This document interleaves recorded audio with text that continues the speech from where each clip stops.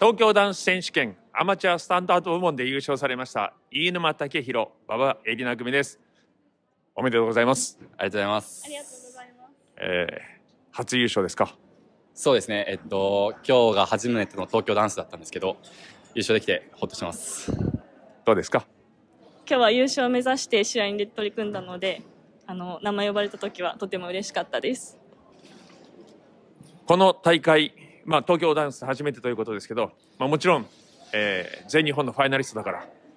ここはもうこのメンバーだったら絶対優勝しなきゃっていう感じのプレッシャーとよし取ってやるぞ。どんな気持ちですか？そうですね。えっと優勝しなきゃっていうようなえっとモチベーションで来たのでえっとまあ全日本からいえっとどれだけブラッシュアップできるかっていうことをちょっと意識してえっと2週間練習してきました。すいません。どどんなことがブラッシュアップのポイントですか？えっと、全日本戦を終えて2週間ほど経ったんですけれど、えっと、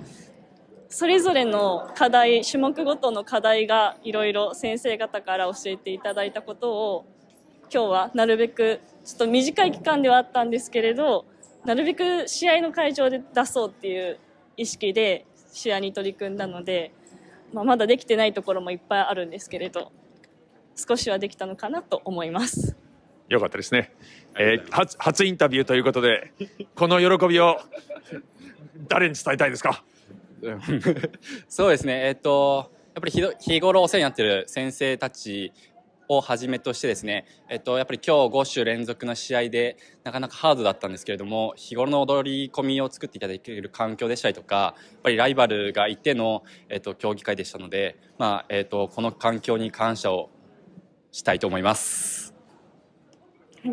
私は、えっと、そうです初めてのインタビューでちょっと緊張もしてるんですけれど普段ご指導いただいている先生はもう本当に感謝の気持ちでいっぱいですし普段支えてもらっている両親あとあの今日も観客の方がいっぱいいらっしゃってであの応援してくださることで5種目ちょっとしんどいなっていう時も笑顔で頑張れたかなと思うので見ていただいた方にも運営していただいた先生方にも感謝の気持ちを伝えたいです。